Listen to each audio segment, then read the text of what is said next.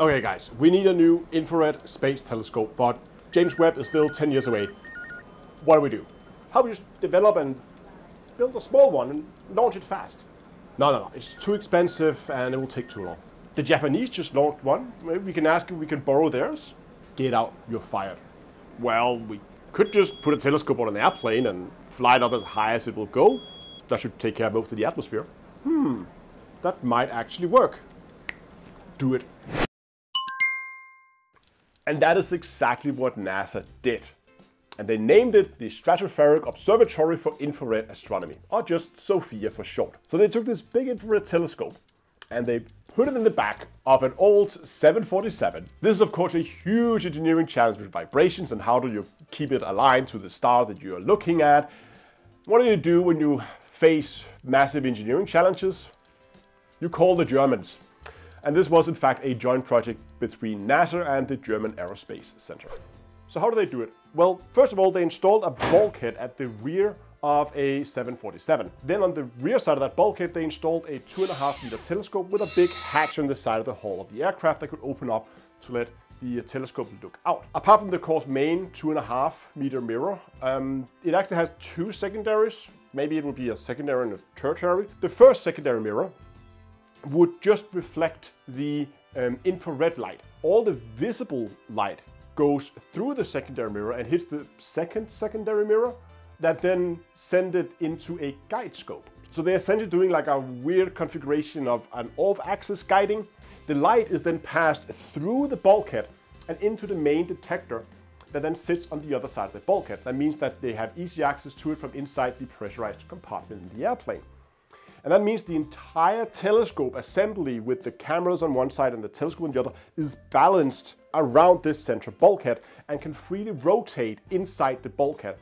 And the bulkhead has like shock absorbers to take out the vibrations from the plate and all that stuff. That means, of course, that the telescope is only able to turn up and down and not side to side. So the way that they are, they are guiding with this telescope is that the altitude up and down is controlled by just rotating the entire telescope assembly inside the bulkhead. The azimuth is controlled by the plane's heading. Again, it could only look out the left side of the airplane. So as you can imagine, this meant that the plane would have some rather weird flight plans and they need to be carefully planned that you need to have a very specific heading if you want to look at a specific object because you couldn't just turn the telescope. You need to fly at a very specific heading. Uh, it must have been a mess making these flight plans, but that's how they did it and apparently it worked quite well. And because it was built like this, it meant that you could change the, um, the science equipment that you were using on the telescope probably not like on the fly, pun intended, but you were able to land the airplane, take the entire camera out, swap it out for another one, make sure it's balanced, and then take off again. Frankly, this is genius. You get all the benefits of a ground telescope. It's easy to maintain, you can easily upgrade equipment, and you still get a lot of the benefits from a space-based telescope. You are above 99% of the Earth's atmosphere, so you have very little atmosphere blocking your light.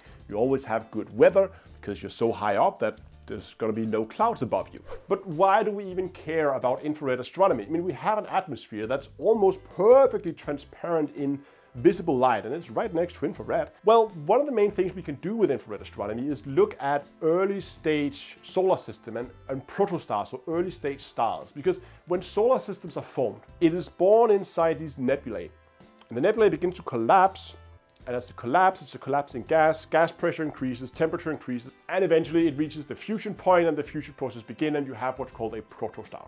But the problem is with visible astronomy, we can't really see these protostars because they are inside these nebulae that hasn't yet collapsed into solar systems. So all the visible light is blocked by all this gas around it. And you can easily imagine there's a big beautiful nebula, but there's an object behind that nebula that you really want to look at. You can't see it because nebula is blocking all the visible light. What do you do? You go infrared. You look at that object in the infrared, that light can easily pass through the nebula and you can see what's behind it. We can use to peer behind the curtain and see what is behind all the dust that is out there in the universe. After the launch of the James Webb Space Telescope, Project SOFIA was not really needed anymore. NASA now have access to a bigger, better space-based telescope. So the whole project was decommissioned and discontinued in 2022. SRI-1 had already failed 72 milliseconds before it. So now all of a sudden you have a rocket without an internal refueling system. Hold on. Oh yeah, it is. Look at that. That's the old equatorial mount.